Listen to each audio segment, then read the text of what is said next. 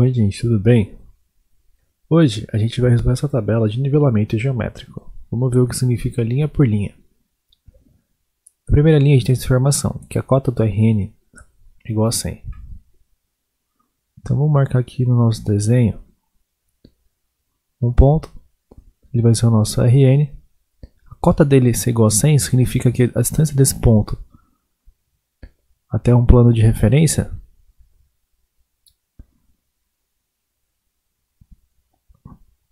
Essa distância em azul é uma distância de 100 metros.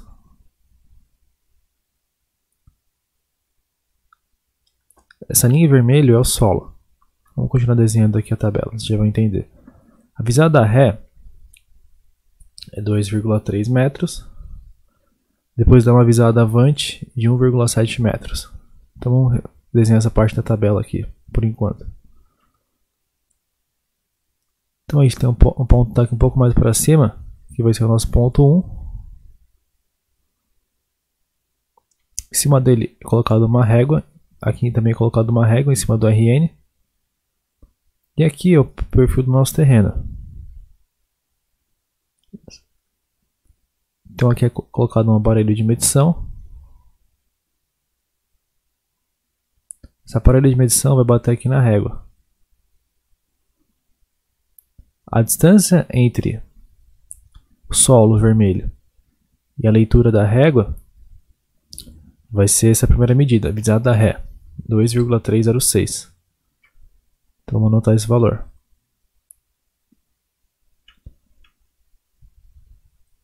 Dois vírgula três zero seis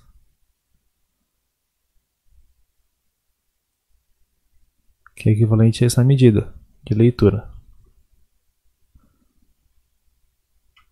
Agora a gente pode achar a altura do instrumento. A altura do instrumento muitas pessoas confundem que acham que é essa altura aqui. Mas não, não é em relação ao solo, é em relação ao plano de referência. Então a gente tem que fazer a medida do plano de referência até chegar no instrumento. Como vocês podem ver, a altura dessa seta em verde é igual à cota do RN 100 mais a medida Ré lida. Então a altura do instrumento aqui é só a gente fazer essa conta. Visada Ré mais a cota.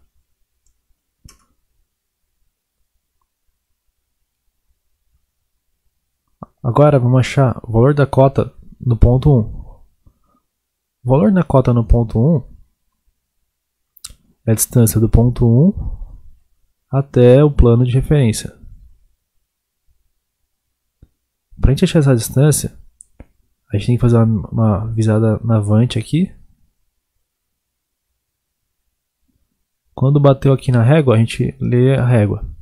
Se a gente fizer essa leitura, a gente vai achar essa medida. 1,759.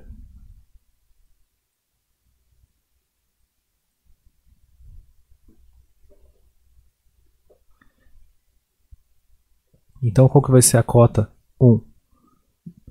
Só a gente pegar a altura do instrumento menos a leitura avante.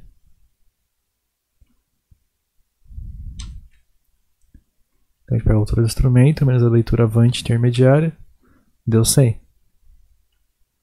Agora vamos ver a próxima linha.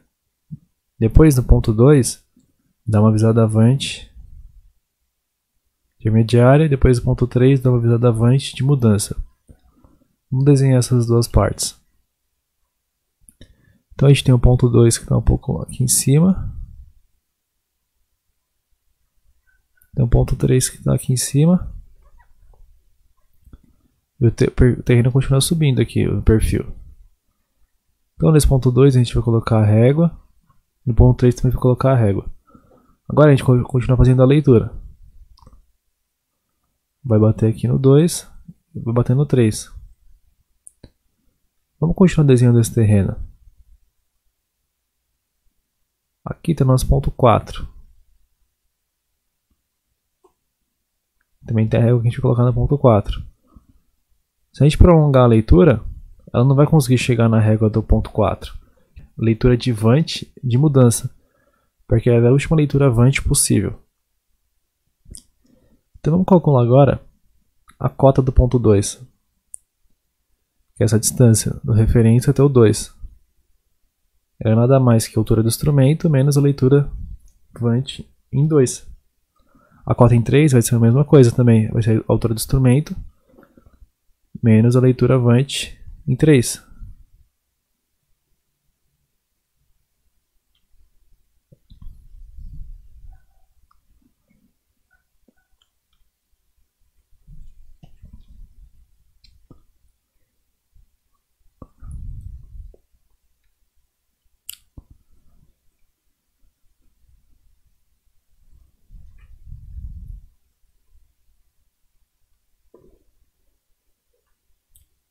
Então aqui eu já coloquei as formas.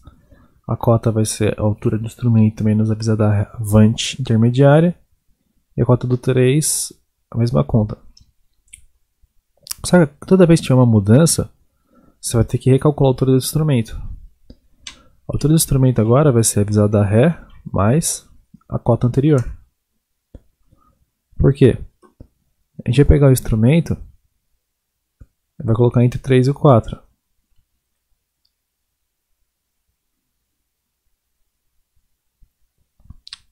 E a nova altura do instrumento vai ser a distância do plano de referência até o instrumento. E pelo desenho, essa distância é igual a cota em 3 mais a leitura de Ré em 3.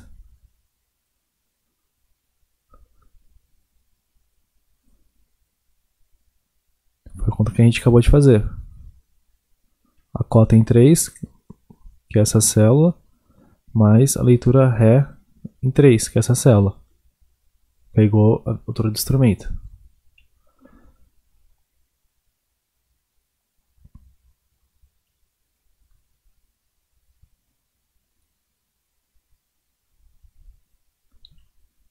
Aqui a altura do instrumento continua a mesma.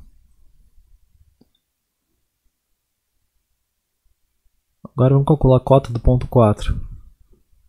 A cota do ponto 4 é a distância do plano de referência até o ponto 4. Representada por essa seta em cinza.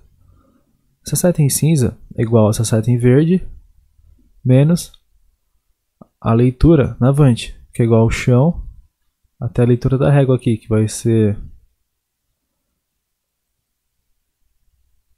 altura dessa seta em vermelho.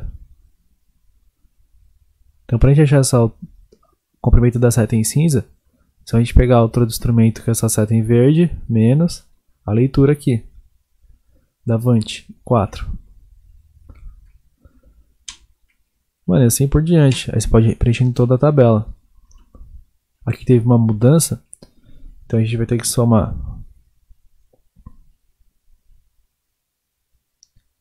a avisada da Ré mais a cota anterior. Agora a gente pode preenchendo. Qual vai ser a cota do ponto 5? Vai ser a altura do instrumento, menos a Ré intermediária. Cota do ponto 6, essa altura do instrumento, menos a avisada avante. Só que teve uma mudança. Toda vez que tem mudança, a gente tem que calcular a nova altura do instrumento.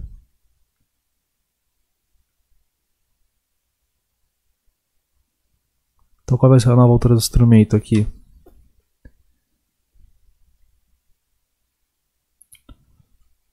Vai ser a avisada da Ré mais a cota anterior. A altura do instrumento vai ser a mesma aqui.